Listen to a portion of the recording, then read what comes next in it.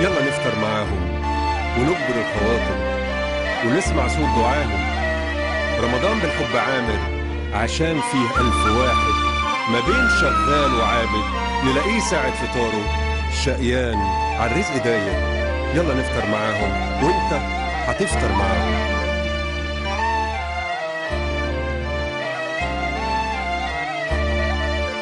أشبك خيوط المحبة. طول ما الوداد واصل.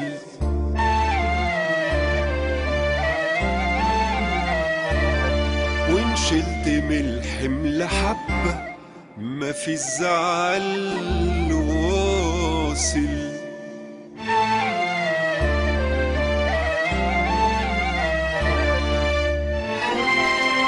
وأما الرغيف ينقسم بالحب يبقى كتير.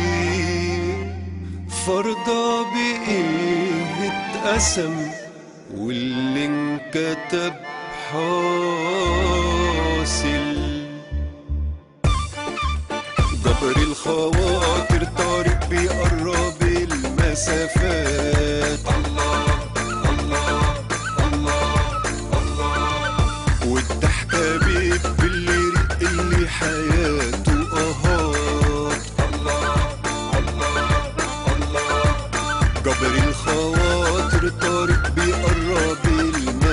الله الله الله والضحكة بيب اللي رق اللي حياته. أهات وما يكون الرضا ده منتهى الأحلام مهما تكون الظروف لسه الأمل لسه الأمل لسه الأمل.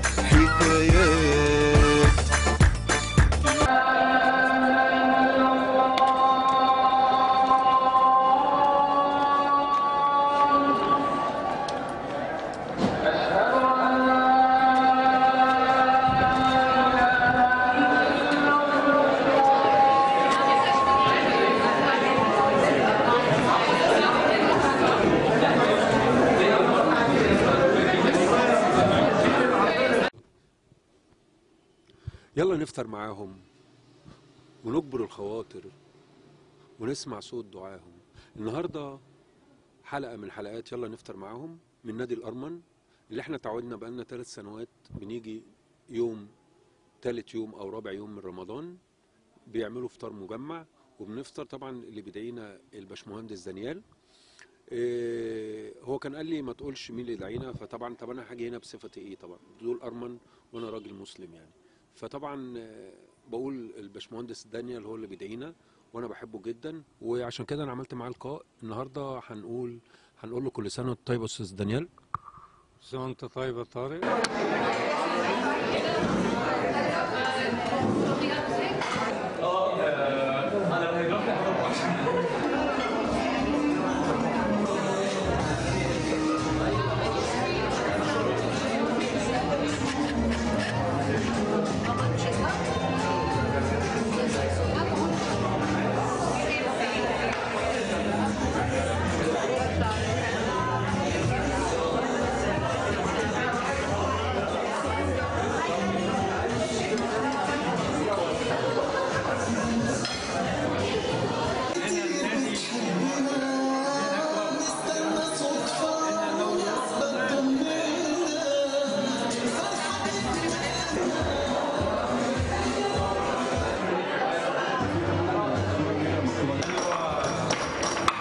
فكان لنا لقاء مع مدير النادي والآن لنا لقاء مع الفنان مع جوكر الدراما الأستاذ ناصر عثمان. نرحب بيه ونقول له كل سنة وأنت طيب. أهلا وسهلا بحضرتك كل عام وأنتم بخير. أستاذ ناصر مش عارف أقول لك إيه أنا من زمان مشتاق إن أنا أصور معاك في برنامج لأني أنا من الناس اللي بتحبك جدا ومن الناس فعلا اللي أنا أنت كممثل كراجل فنان فنان فعلا قدير بمعنى كلمة قدير حد بي- بينتقي أدواره باحترام آه، بينتقي حتى القصد العمل رغم ان إن مش حضرتك اللي بتحط قصد العمل يعني بتدور على قصد عمل حد ر- ركيم برضو عشان تتعامل معاه. الحمد لله. نعرف حضرتك برضو تعرف المشاهدين بال- بالمواضيع اللي حضرتك عاملها آه الحمد لله ناصر عثمان في البداية محامي صحفي. مدير شؤون قانونيه حقوق الإنسان آه دخلت التمثيل كهواية ثم بال بالتعليم حصلت على دبلومة في الإخراج السينمائي كتابة السيناريو التصوير. آه الحمد لله أعمالي الفنية سواء داخل مصر أو خارجها آه، تجاوزت ال 85 ما بين مسلسل وفيلم.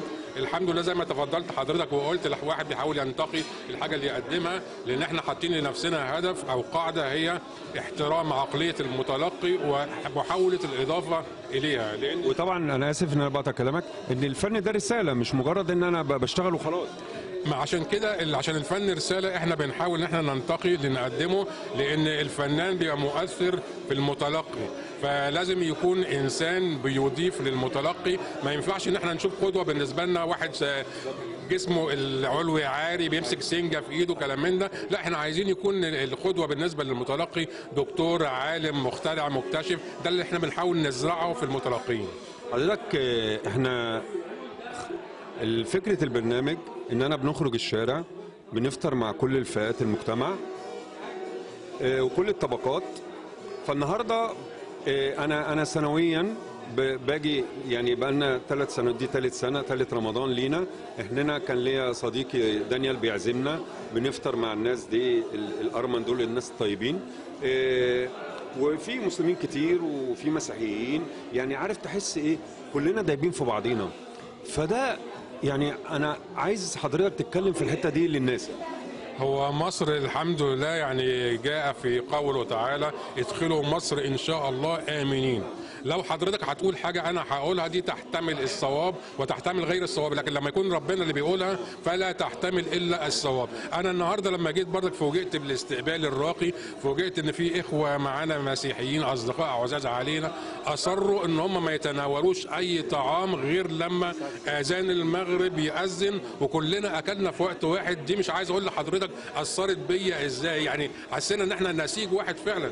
يعني هم صمموا لا ما حدش هيتناول حاجة ما حدش هيشرب حاجة ما حدش هيولع سيجارة غير لما أذان المغرب يأذن.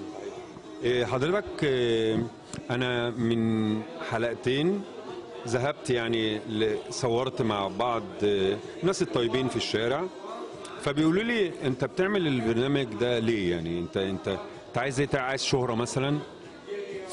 فكان ردي والله أنا بعمل هذا البرنامج يعلم ربنا نيتي ابتغاء مرضات الله. يعني أنا يعني عايز أنزل أفرح الناس أفرح كل الناس. يعني يعني جبر الخاطر ده جميل. حتى حتى في التتر إحنا عم بنقول جبر الخواطر طريق بي جبر الخواطر طريق بيقرب المسافات والضحكة بتبل ريق للي حياته اهات يعني أنا فعلا كان كان كان ال ال ال ال أنا ببتغي فضل ربنا في هذا البرنامج ان هو يكون جبر خاطر. فايه رأيك في الموضوع ده؟ والله حضرتك طبعا محق ومحق جدا كمان.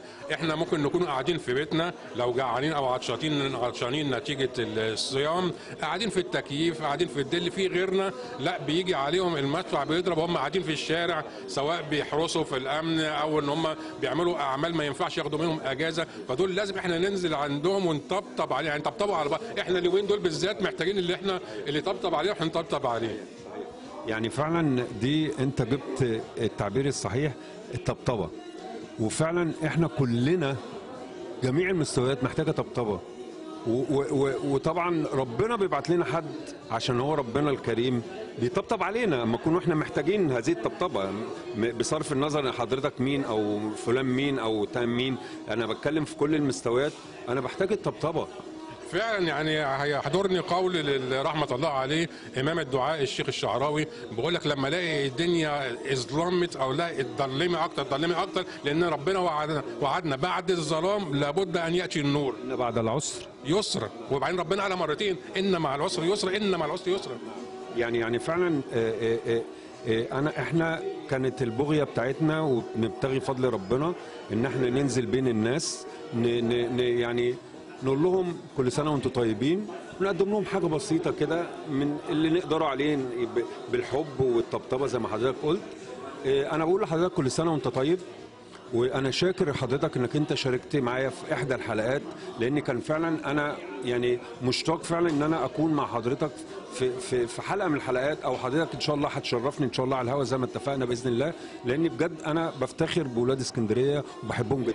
الله يخليك كل عام وحضرتك بخير والسادة المشاهدين كلهم بخير.